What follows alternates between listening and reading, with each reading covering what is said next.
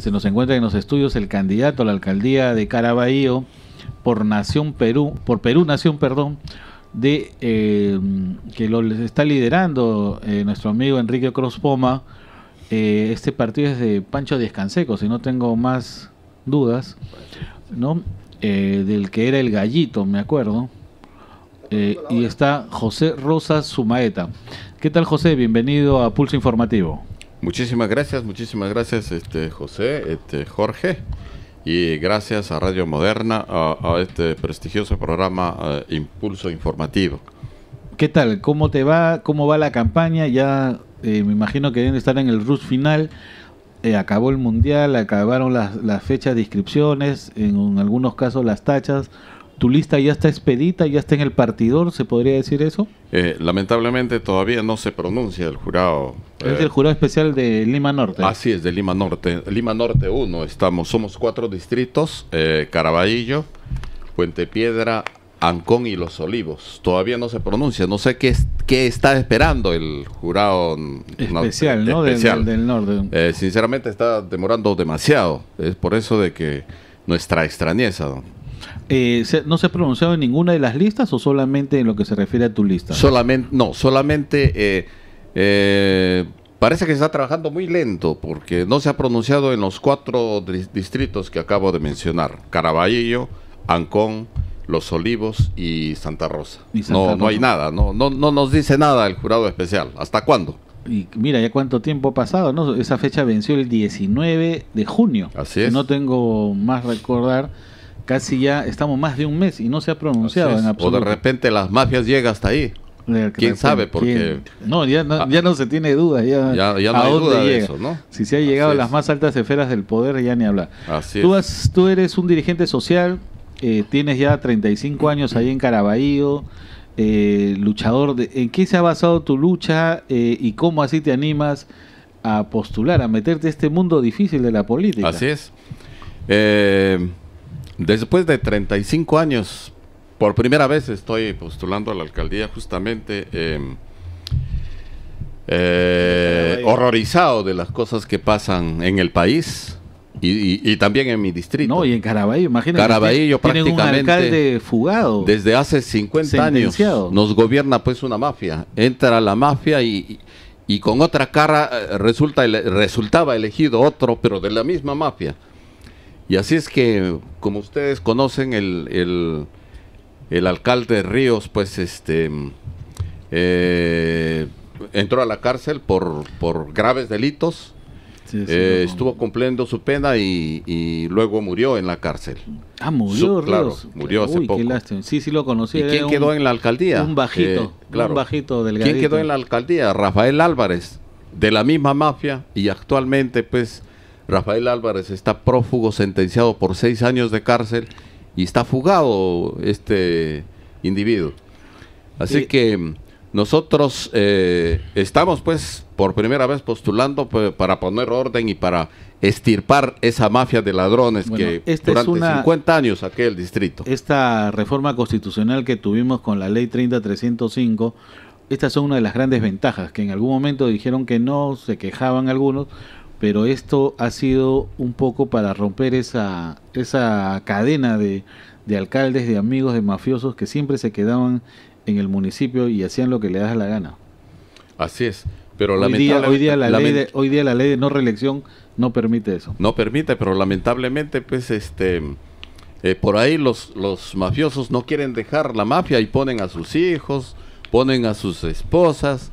Hoy, en el caso de Caraballo, el alcalde ha puesto Ah, eh, está impulsando candidaturas de, individuos que pertenecen a la misma mafia y, llevando a sus como primer regidor a sus regidores del, alcalde, ¿no? Para supuestamente para defenderlo, pero ya no podrán defenderlo porque ya felizmente fue sentenciado por seis años de cárcel y solamente pedimos a la justicia, aunque la justicia también está podrida en nuestro país, pedimos pues de que lo capturen rápido. Sabemos que está en la clandestinidad.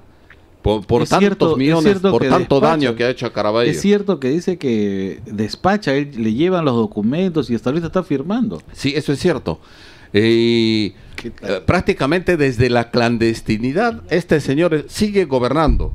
¿Y cómo sigue gobernando? Porque tiene su consejo de regidores, todos alineados y todos cómplices de, esta mafia de ladrones que prácticamente eh, no, está destruyendo el distrito de Caraballo. Increíble. Algo que comen. Bueno, cambiando un poco el tema, pero dentro de la campaña, eh, ¿cuál, fuera de la lucha contra la corrupción, digamos, si yo quiero vender eh, ideas claves al ciudadano, al elector, al que me va a elegir, eh, ¿qué es lo que, la seguridad, por ejemplo, qué propuestas tenemos con respecto a la seguridad ciudadana, que es el tema central eh, a nivel no solamente de Lima, sino a nivel país? ¿Cómo va la masificación del gas natural, por ejemplo, en su, en su distrito? Porque, por ejemplo, en el caso de Comas, se han formado asociaciones de defensa para que la masificación del gas natural, en lugar de estar pagando por un balón 40 soles de GLP, podamos pagar 17, 16 soles. ¿Qué cosas le podemos decir al respecto a, nuestro... Eh, lamentablemente, pues la masificación... Sí, en Caraballo también tenemos una asociación que está impulsando y que, y que gracias a esa asociación, pues se ha conseguido de que cobren eh, eh, el precio justo por la instalación de, del gas. Eh, como ustedes sabrán de que estos encargados de, poner el gas estaban cobrando precios exorbitantes al, ciudadano. Y, es por eso de que nos conformamos en, en, una asociación de defensa y es por eso de que actualmente, felizmente, ya están cobrando el precio justo y de acuerdo a ley de acuerdo al, a, los precios que, está estipulado en la norma, eh, eh, llámese pueblos jóvenes, eh, lo, que abunda en nuestro distrito de Caraballo. Y con respecto a la seguridad, ¿cuál la es la seguridad, actualmente no existe seguridad. Usted sabe que el alcalde está prófugo. Ah, la propuesta de usted. Claro, nuestra propuesta pues es desde el primer día, primeramente pues limpiar eh, limpiar la casa, como se dice, eh, eh, y estirpar esa corrupción y simultáneamente trabajar por el, uno de los problemas más álgidos, que es la seguridad. nosotros tenemos un plan con nuestros técnicos para desde el primer día trabajar por la seguridad, implementando más vehículos para el patrullaje, y, y sobre todo eh, con una central de monitoreo, eh, con cámaras de videovigilancia. Eh, hemos calculado más o menos como, como, lo, como una primera fase, instalar unas 400 cámaras de seguridad, porque actualmente, aunque es increíble decirlo, no existe ni una en el distrito ni una cámara de, videovigilancia en el distrito de Caraballo.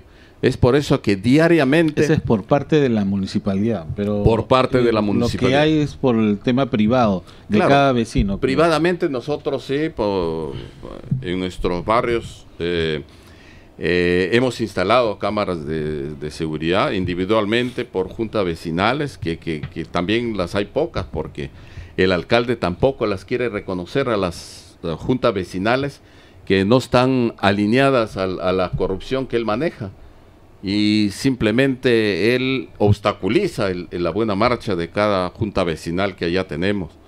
Eh, no lo reconoce y simplemente eh, la, reconoce a otras mm, a otros dirigentes que están eh, coludidos con, los actos de corrupción que comete día a día este, este alcalde y, los regidores que han quedado, que actualmente están eh, coludidos con, con, el alcalde delincuente que está en la clandestinidad. José, eh, Caraballo es un distrito que prácticamente está partido, o sea, si tú entras por la Tupac Amaru, no llegas a conectarte con el otro lado de Caraballo, que es Lomas de Caraballo, eh, toda esa zona del cementerio. Tienes que entrar por la avenida, eh, por la Panamericana y entrar o bien por la avenida San Juan o por la avenida esta de eh, donde está el cementerio. Lomas de Caraballo, pues.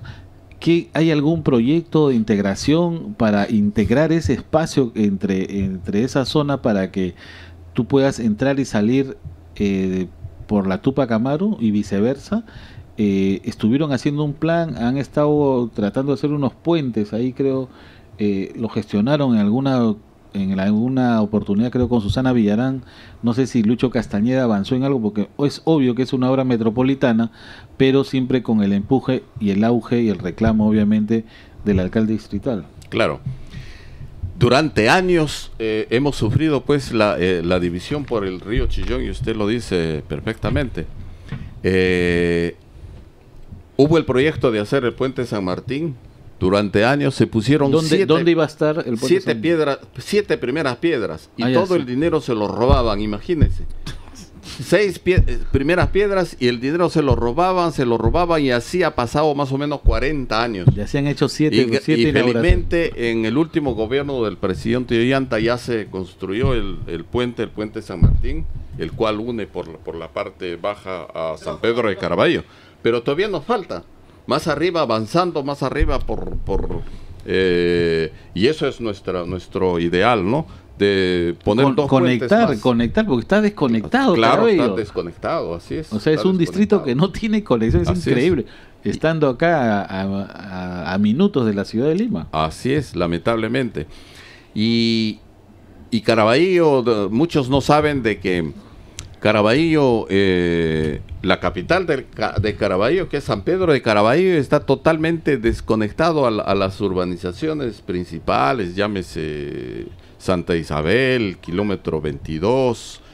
Y es por eso de que, como te digo, eh, José, eh, nos faltan dos puentes más para, para unir al distrito. José, en 30 segundos, danos tu mensaje para la gente de Caraballo que nos está escuchando en este momento y que nos está viendo. Eh, ¿Qué es lo que tú propones eh, rápidamente de llegar a la municipalidad? Primeramente, estirpar esa mafia de ladrones que durante 50 años nos viene gobernando y que prácticamente destruye nuestro distrito, ha destruido la ecología, prácticamente eh, los alcaldes han estado metidos en el tráfico de tierras, en la minería ilegal, etcétera, etcétera. Nosotros de llegar a la alcaldía, pues si es que el pueblo y Dios nos, nos, nos apoya, eh, como primera medida, estirpar esa mafia de ladrones que actualmente está imperando en el distrito y luego eh, eh, con esa con esa con esa medida pues sentar las bases de un verda- verdadero desarrollo para el distrito con orden, seguridad y con participación ciudadana para todos. Bueno, señoras y señores, ha sido nuestro amigo José Rosa Sumaeta. Él está como candidato a la Municipalidad Distrital de Caraballo, Cono Norte o Lima Norte, como quieran decirlo, y está participando por Perú Nación, el partido de eh, nuestro, el nuestro no, sino el líder eh, que va para Lima, que es Enrique Crospoma.